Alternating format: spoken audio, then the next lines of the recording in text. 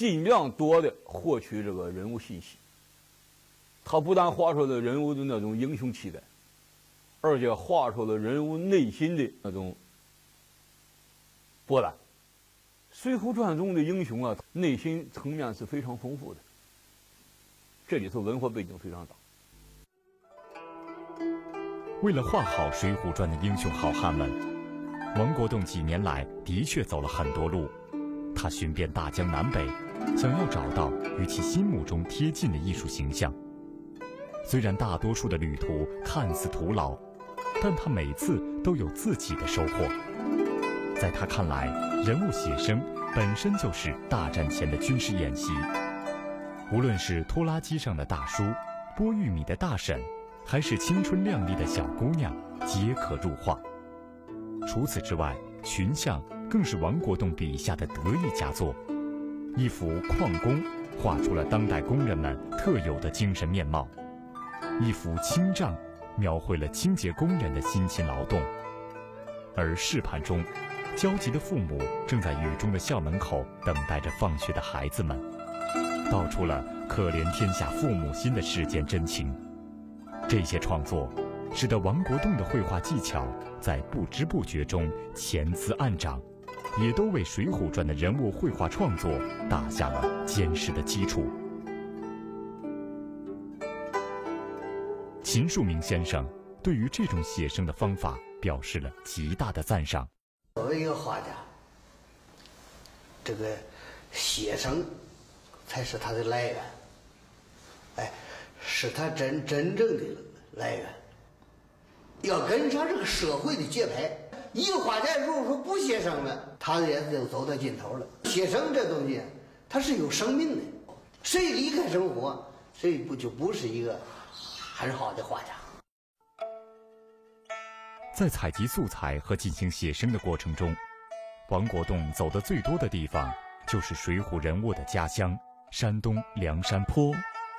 他深入到英雄人物的子孙后代当中，观察他们的相貌，体验他们的生活，哪怕是一种农具、一块土埂，都不会轻易放过。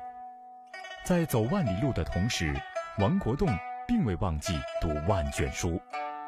他不仅不厌其烦，一遍又一遍地阅读《水浒传》，还广泛搜集有关《水浒传》的评述和分析。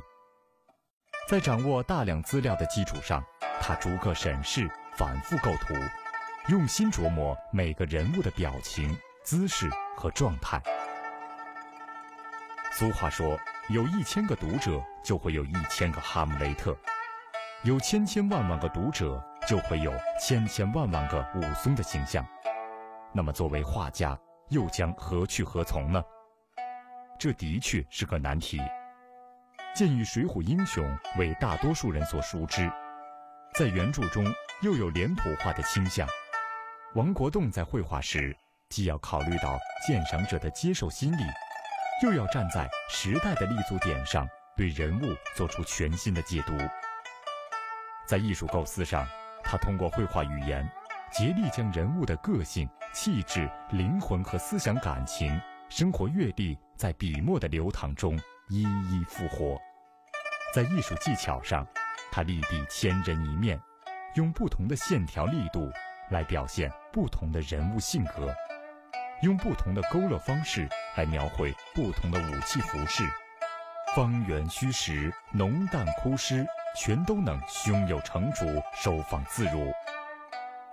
经过将近两年的艰苦努力，他的《水浒传》人物版图终于横空出世。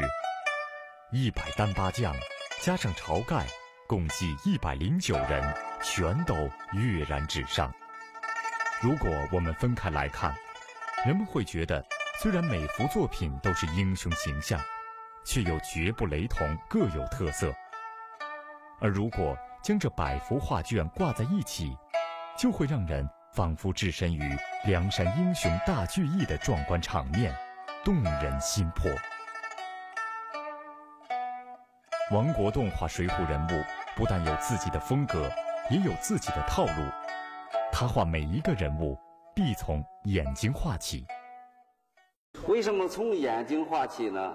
就是我认为模特打动你的时候，首先是什么？你看到了他的形象，他的眼睛里边都是都是会说话，都含有一定的，好像是他的阅历啊，他的知识层面了，还有是吧？包括好多他的东西，内心的东西都表现在他的两只眼睛上面。所以说，落笔之前，你想表现的就是这些个内心的东西。并不是照搬模特一种外表的这种动态，尤其在室内写生，尤其画这个国画人物的画家吧，这个一定要抓住这个他的内心世界，反映内心世界的窗口，那就是眼睛。